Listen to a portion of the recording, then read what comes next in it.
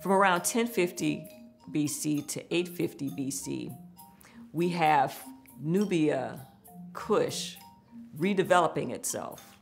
Newly freed from colonization of Egypt by 850 BC, there's a dynasty of kings that arise around the fourth cataract at Napata. Those kings over the next hundred years will become powerful enough to move into Egypt and actually rule Egypt. So, this second Kushite state, headquartered at Napata, becomes the 25th dynasty of Egypt. These Nubian Kushite kings are named names that are very un Egyptian. So we have the first, who is Pianki. He's followed by Shabaka and Shabitko, Taharka, and Tanwatamani. But these are the rulers that brought Egypt back from a period where it was being ruled by several competing chiefdoms in the north. These kings brought back the old ways of Egyptian religion, Egyptian writing, Egyptian customs and art. It was a renaissance of sorts by these Kushite kings. For example, the Napatan kings built pyramids but put their own twist on it. A lot of people think that Kushites copied Egyptians or that they belong to Egyptian rulers, but that's not true at all. In Sudan, there are actually over 200 pyramids belonging to Kushite royalty.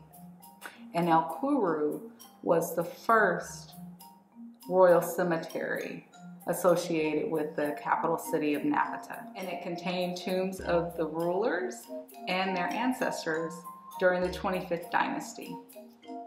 The earliest burials at El Kuru are tumuli. So again, we see that strong connection to early Nubian culture. Um, and then we see the first pyramid during the reign of Pianki. During the Napatan period, we see the positioning of the body change. So it goes from this flex position where they're laying on their side to now what we consider a more Egyptian-like position of the person laying on their back with their hands on their sides. However, what did not change during this time is the use of burial beds. So they would actually use coffins and place the coffins on top of the burial beds. And so this shows the continuity of funeral practices that date back to early Nubian tradition. Some of the objects that we find buried with the Napatan kings include bows, arrows, quivers, archer thumb rings, and horse harnesses. And that is because Nubians were known for their archery. These items are included in a lot of the royal burials during this time, showing again strong links to Nubian culture. In addition to reviving ancient Egyptian traditions and customs, the Nubian Kushites also brought some of their own customs into Egypt as well. One of the things that is really distinctive about the Kushites is their veneration of women. So throughout the Kushite period, we have a series of royal women who are doing extraordinary things. We have princesses who are serving as God's wives or priestesses in the temple.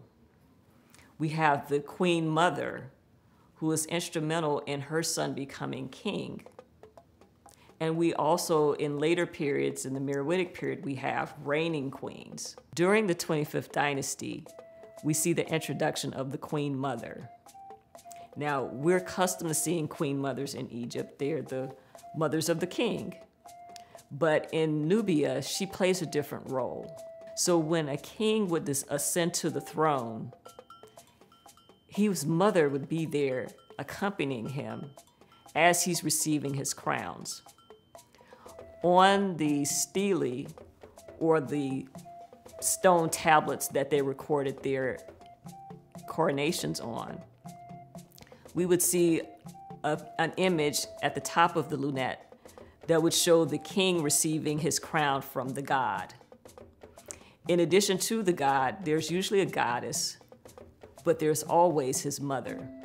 The king Taharka, in his election stele, talks about the fact that his mother came when he was enthroned and that the people lined up and they were cheering for her. So this was an exciting moment for him, but he was even more excited to have his mother come and share that with him. Why was the mother so important? The powerful queen mother was closely associated with the goddess Hathor, or the divine spouse of the supreme god Amun. That goddess's name was Mut. So there's a way in which the women in ancient Nubia served a legitimating function. The king did not become king without his mother by his side. After about 60 to 75 years, the Nubian Kushite rulers will eventually run out of Egypt by invading Assyrians. So, thus ended the period of a united Egyptian Kushite state. But the rulers at Napata, the Kushite rulers, and the rulers at Meroe would continue to rule the Kushite state from Nubia for the next thousand years.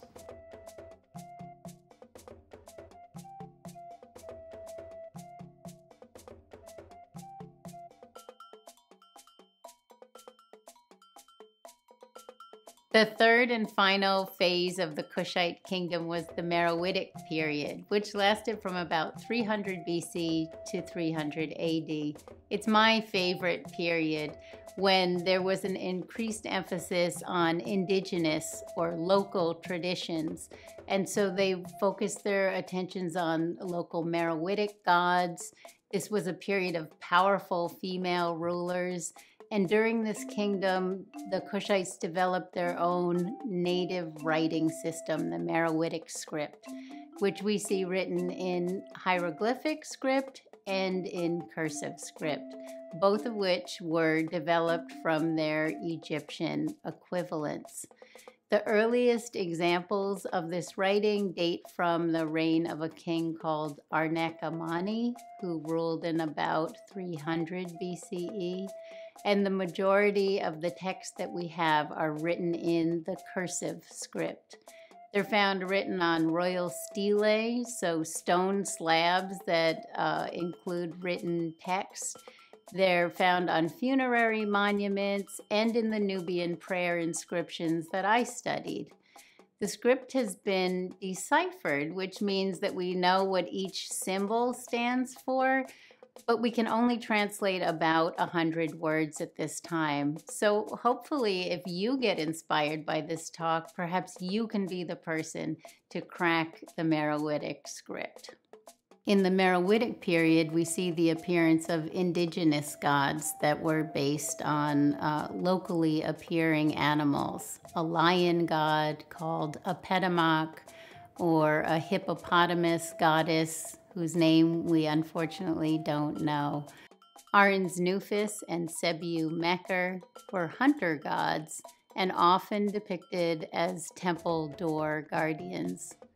The hawk god Horus had four distinct Nubian manifestations associated with sites in Lower Nubia Abu Simbel, Kuban, Buhen, and Aniba.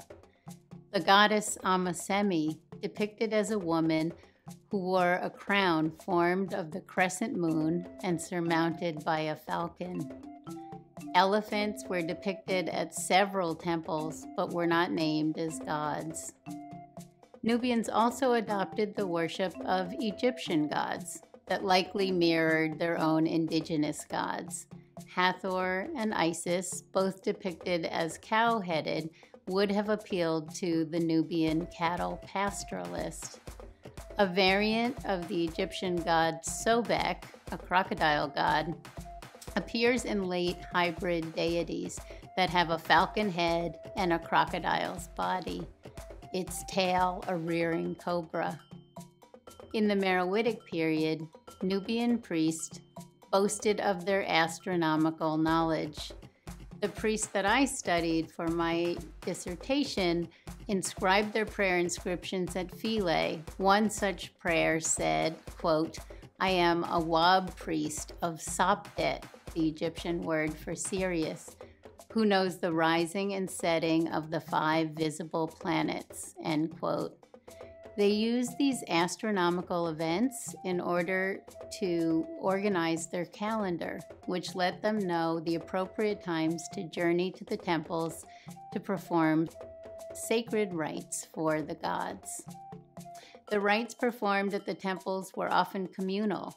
Extended family groups traveled to sacred sites where men served as priests, women performed music and dance, and the entire community celebrated with communal feasts.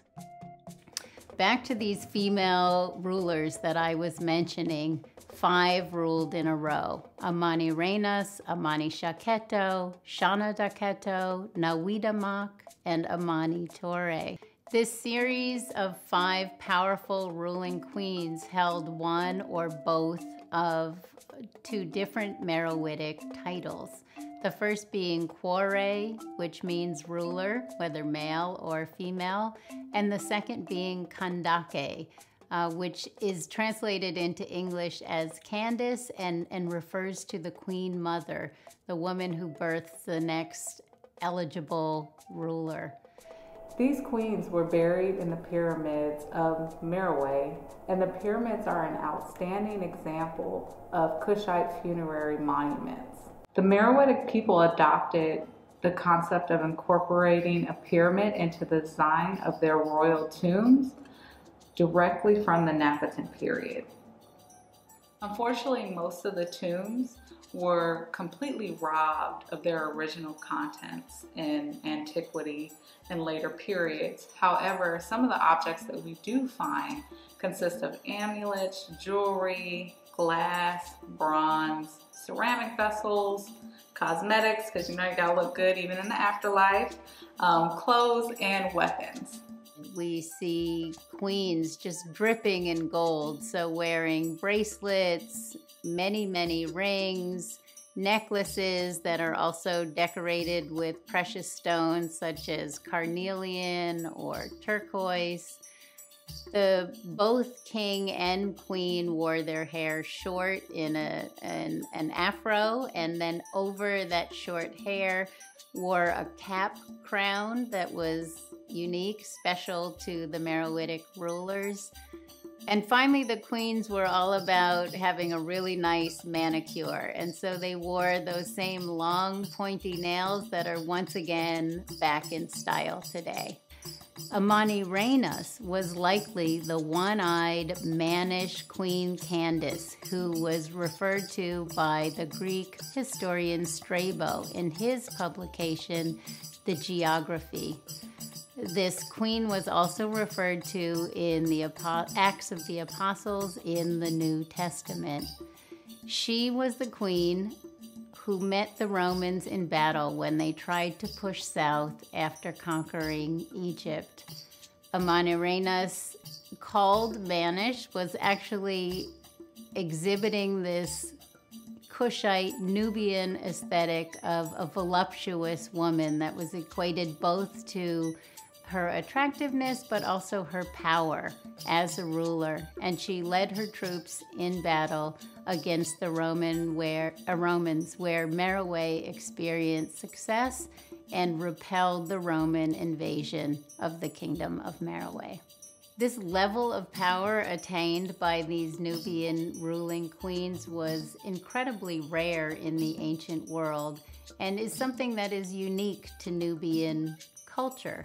While this period stands out for its sole ruling queens, it's part of a larger Nubian custom that still survives today.